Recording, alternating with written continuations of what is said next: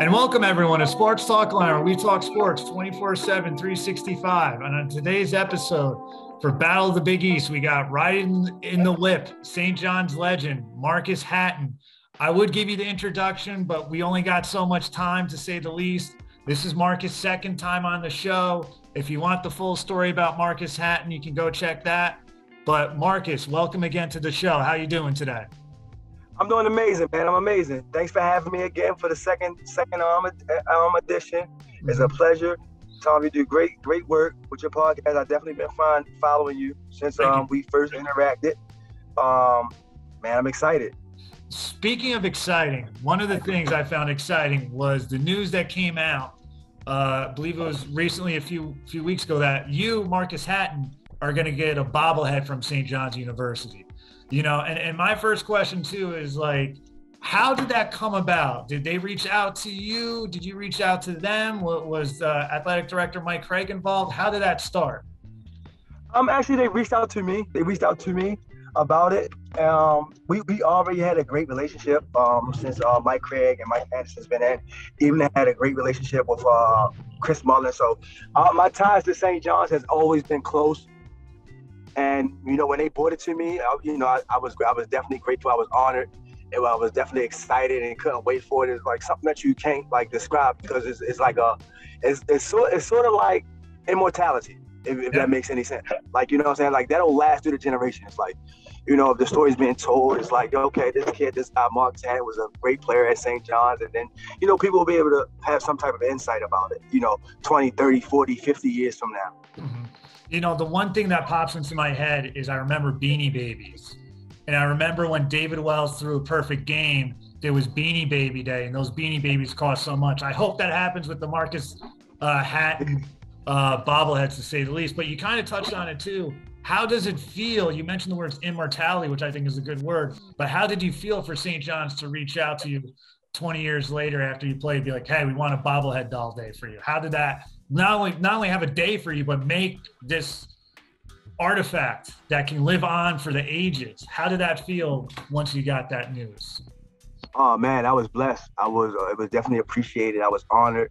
Um, but what, the feeling that I had, you know, like now of St. John faithful, um, for them to get a glimpse of St. John's history and to be a part of it with me, like you know, like you know, we we created history together, and now we're here to create it again. And you know, um, now it's more because of social media. Like yeah. you know, it'll be a conglomerate. You know, because people like you know social media. You said you you you touching millions and millions of people. So the beautiful thing about it is that like you know like the people who remember Marcus Hatten will probably mm-hmm.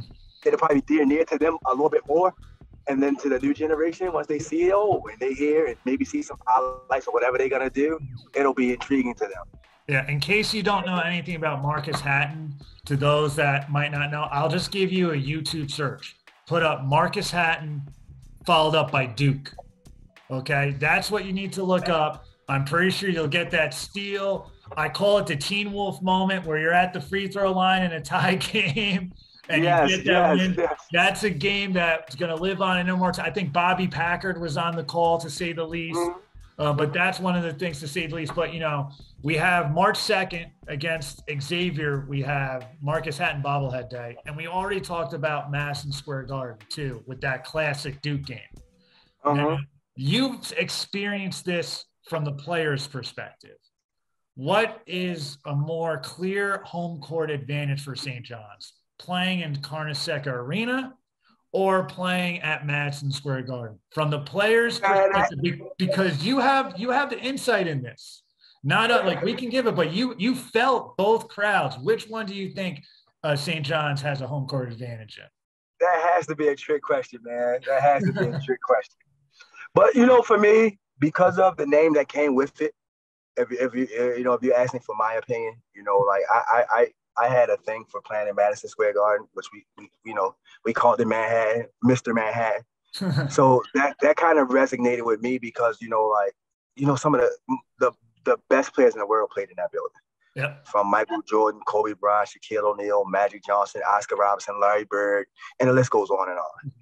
So to actually have a feat Chris Mullin. Let me not forget Chris Mullin. Mm-hmm. To actually have a feat cemented on such a historic landmark mm-hmm. and what is known as the mecca of basketball all over the world.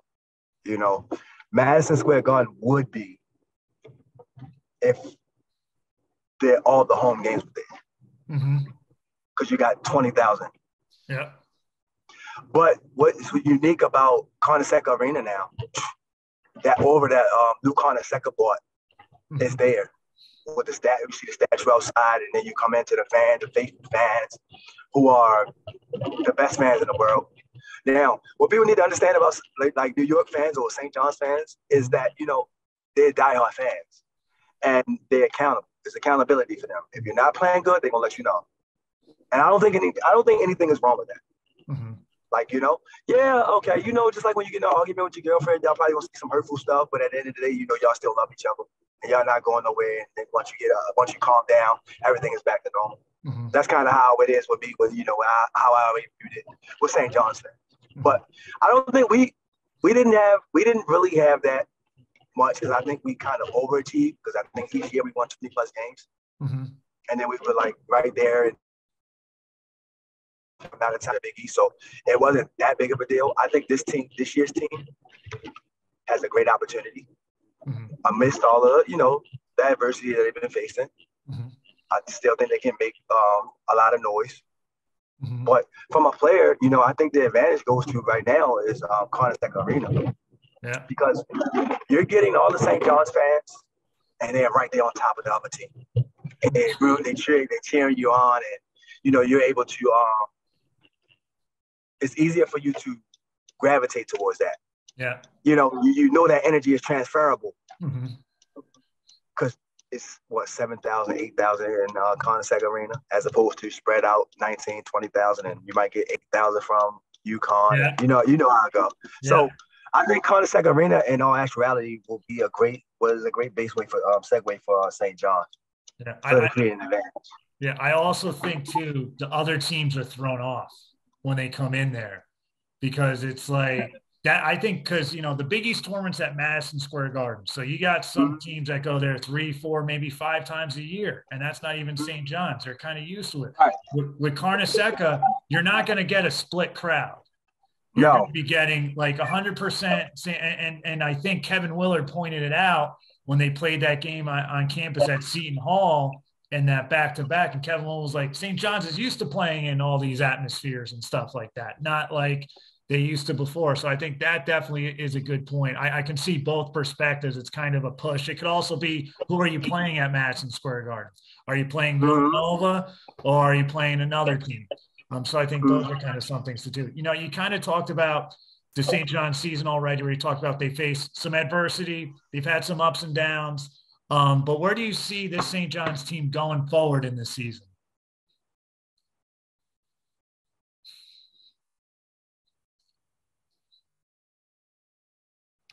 Oh, okay. All right. So getting back to it, is you know you kind of touched on St. John's this season. They had some adversity. They've had some ups and downs. Where do you see this year's St. John's, the 2022 version, going for the rest of the season? Honestly, I, I, the last eight games, I love the energy. I love the effort. You know, I, I think they're in a good place. Um, I think a lot of people had high expectations and high hopes, which I'm one of those players, one of those people who had high, high, high expectations for this year's team. I don't think it's out of the window. I think they can still make noise. Um, with these next what three games they have? I think five. Oh, I think they they got um, they're up next. They have Creighton at home. They're on the road at DePaul. They got Xavier and they're at Marquette.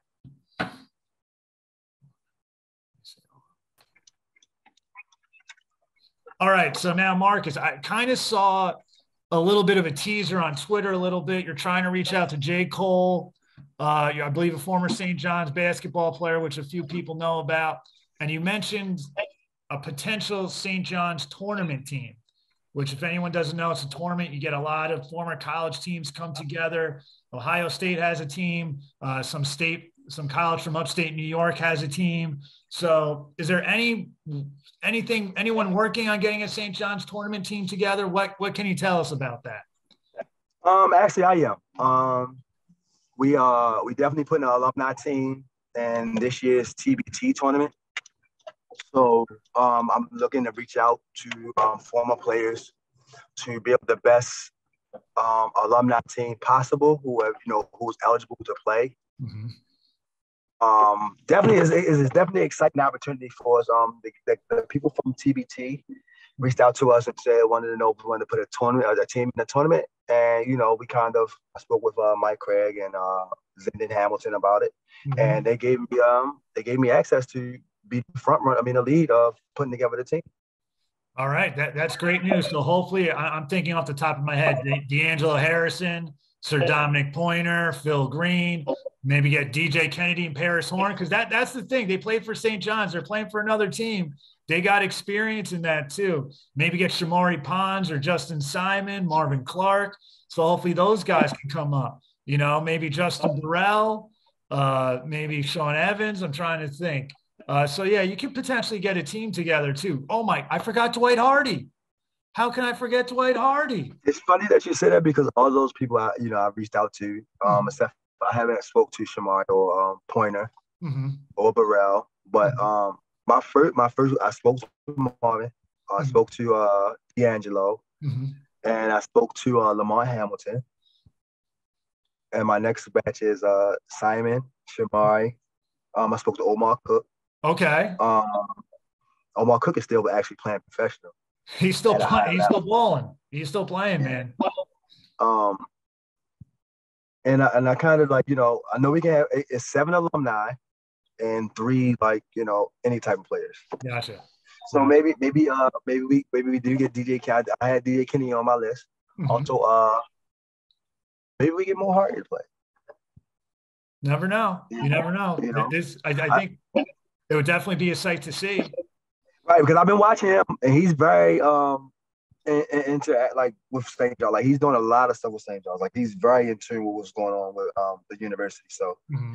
I'm quite sure if he won't play, like you know, he'll be like a spectator or like a um, sponsor or something like that. Mm-hmm. But I'm excited. Yeah, this is a great opportunity. Uh, we definitely will have a TBT tournament. Um, I'm I'm thinking right now um, if I'm gonna play or just coach. But you know, I think we'll have enough talent where it, it, if I do have to play, it won't be a lot. so, so you, no, you're going to give your your mindset where you know you're going to give your expertise in a different way, unless it's a tie, unless it's a tie ball game. They need someone at the free throw. there we go. there we go. You know, and speaking about supporters, hit that like and subscribe button so you can get all this great contact on Sports Talk Line. Uh, now we got oh, now we got two questions yep. left for you. The first one is, you know, we kind of talked about St. John's. We talked about the past. We talked about the present. What do you see for the mm-hmm. future with St. John's? Because you're talking, you've had relationships with both administration and the team. Mm-hmm. What do you see as a former player where St. John's is going moving forward? Well, I mean, they know they know my aspirations and, and, and intentions. Like, you know, I would love to be on um, the coaching staff one day. Um, I love like that's not to say I'm here to replace Mike or anything of that nature. I'm just stating like you know that's that's my next dream. That's the biggest thing for me to be able to coach St. John's and try to help them get the national championship, the, their first national championship. So I do have um, intentions and dreams on be, being a part of the coaching staff. Um, and you know whatever however i can help st john's like that's a part of my heart like they, they they gave me an opportunity and you know they believed in me and you know it was it was definitely a match made in heaven for i think the both of us. And you know i, I just appreciate them with everything. Mm-hmm. All right and, and i guess the last question you know we talked a lot about basketball. I know last time we talked you had a lot of ventures going on. You're a little bit of an entrepreneur. So moe hatten the entrepreneur or I guess the person. What what what do you got cooking for us? What are some things? Oh man, I have the um I have like legendary like I have the become legendary brand. If you if, for the ones that for the people who don't know, um become legendary is my um my business brand. Mm-hmm. Um I do personal training. I have become legendary fitness. I have the cafe, um legendary lifestyle cafe, um legendary travel group, travel agency group. Mm-hmm. Um that's um and um just partner already partnered up with uh, a life insurance guy, Prime, Prime, Prime, Primerica. If you, mm-hmm. you heard of that, so I'm um, definitely ready to uh, come up with a partnership with them. Got the mentoring program, uh, um, and now you know just continue to build an empire. You know, Marcus Hatten, you know, become legendary as the empire. Marcus Hatten is the founder of all of it, mm-hmm. and just kind of be there. Like, you know, I got the uh, likeness sports, which helps, um, which is catered to helping kids monetize off of their name, likeness, and image. Yep. Name, image, and likeness. Also, um, in the NFT game, in the NFT world. Oh, okay. Crypto, yes. cryptocurrency too. Yeah. So we already, um, me and um, me and uh, a guy, my partner, um, Drew, we are the ones who had worked on the NFT project. We mm-hmm. created the first um, Marcus Hatten NFT. I'll uh, post it or, or I'll send it to you. It's on mm-hmm. OpenSea, so I'll send it to you so you can, you know, you can see it. Also, with like, well, um, I have Lightning Sports, with I partner with another friend of mine, which is James Decker, mm-hmm. and we created like the sports to kind of get that out there to help these kids create um, revenue off of their name, image, and likeness. Mm-hmm. And you know, like I said, you know, with those things going on, and that's just where I'm at. You know, like so, uh, you know, I gave you a ton of things in, inside of the entrepreneurial world, which I enjoy. I know it's a lot, but you know, it comes with it. It's life after basketball. I haven't found anything that replaced basketball. That feels you, you come close. Though. You come close. Coming close. Come close. Yeah. But I think what's going to fulfill that is um, actually getting an opportunity to coach at St. John. So mm-hmm. I think it's coming. Yeah, well, you got to look too what St. John's did. They brought back Zendon Hamilton, you know, mm-hmm. to the staff, which I think is a great thing because he can kind of fill in the gaps and they can know the tradition of it. I think Julian Champagnie, who actually Dick Vitale named as college basketball player of last week, you know, for ESPN to give any praise to a Big East player, you know they have to step up. I'll just 100%. I'll leave it at that, especially Dick Vitale. But but Julian Champagnie, his father went um, to St. John's too. I believe he won a national title on the soccer team, so so you can kind of fill in too. And I think if the players know the tradition, and hopefully that tradition starts coming back, where they can do the Lou Carnesecca recruiting budget, where he just uses uses an MTA card going forward. But you know, here's the thing. Here's the thing about that, and then we get finished. Like New York has as a gold mine. Like you know, it's just mm-hmm. about creating that winning tradition back. Mm-hmm you know, if you can bring that back, and I think I would think kids have a problem with attending St. John's, even New York kids. Mm-hmm. But what do they have to look forward to?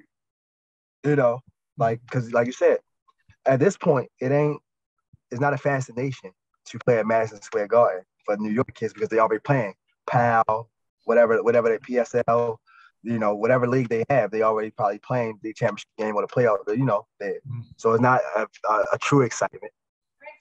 I create the history around St. John's, bring in the players, let them know that they can create a network and build it in that way, my manner. So yeah, that I think you bring up a good point too, but I also think you get a lot of the elite high school players going off to prep schools. So I think that's something too. If they if they target two, I, I think hopefully it can come back. But I'll tell you this: if they're a consistent top twenty five team in the next year or two, you know it firsthand. If you win, they'll come. So, but Marcus, oh, Marcus, I just want to thank you for taking time out of your busy schedule. And if, if you don't know, March 2nd, Carnesecca Arena, St. John's versus Xavier, be Marcus Hatten bobblehead day. Hopefully everyone can get one. Hopefully it becomes a collector's item. Maybe you can sign some autographs that day. But thank you again, Marcus, for coming on. And remember to listen like you play with intensity.